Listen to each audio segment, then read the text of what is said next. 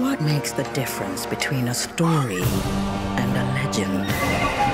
Is it the cruelty of its villains or the bravery of its heroes?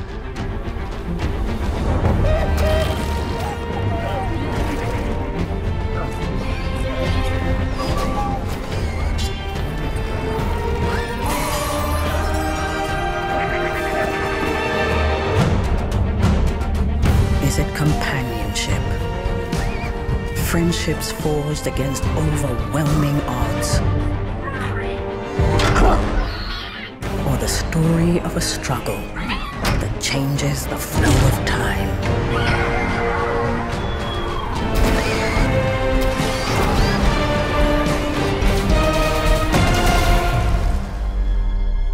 After the details have faded into dreams, what will we remember?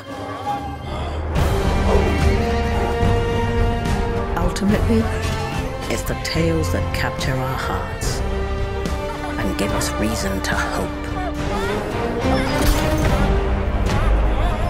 When the bravery of the world is greater than the forces of evil combined, that is when legends are born.